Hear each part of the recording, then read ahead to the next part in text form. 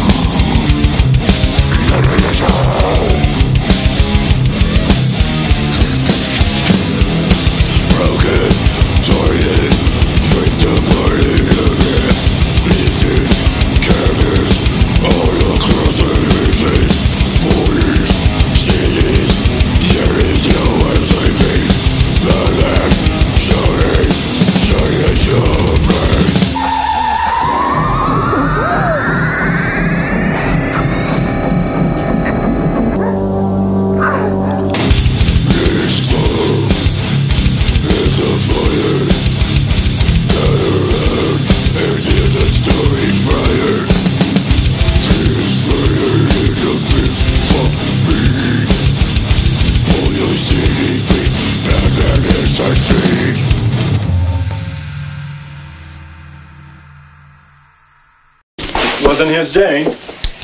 Poor guy didn't even get his pecker out.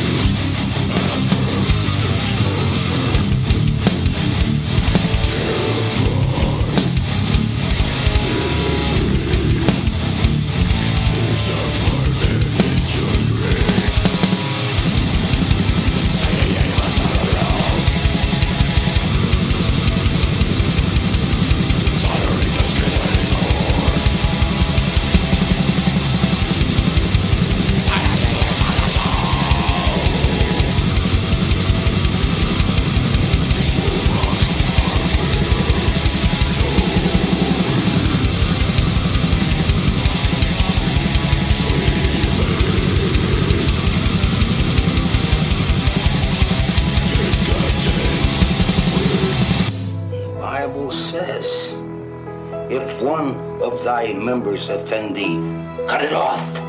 Cut it off!